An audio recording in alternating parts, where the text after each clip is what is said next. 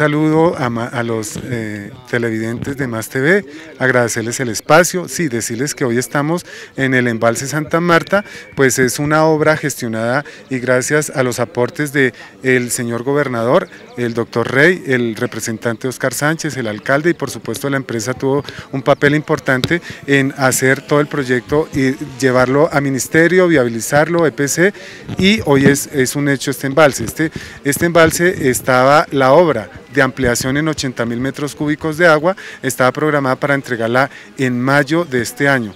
Vemos que hoy ya está terminada. Contratista estará ahí muy pendiente de la obra y hoy vemos dos meses antes entregar una obra. ¿Qué, qué, vamos a, ganar? ampliar la capacidad en almacenamiento de 220 mil a 300 mil metros cúbicos de agua, lo cual va a permitir nosotros poder brindarle la calidad de agua a nuestra comunidad. Ya, ¿qué estamos esperando? Diosito tiene tiempos perfectos. ¿Por qué?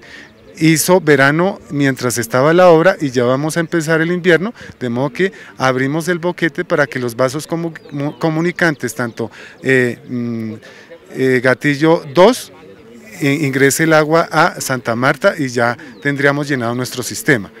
Eh, la actividad no queda ahí, hay que seguir trabajando para mirar cómo almacenamos más agua. Quiero decirles también que con el compromiso del señor gobernador, el alcalde y el representante, hoy podemos decir tenemos estudios, diseños y aprobados unos recursos de 1.900 millones de pesos para la perforación del el pozo de Eudoro Aponte 2. Hoy el pozo de Eudoro Aponte 2 es la joya de la corona, es uno de los mejores pozos que tenemos y vamos a reponer ese pozo y hacerlo, eh, hacerlo y mejorar nuestra capacidad de respuesta a nuestra comunidad.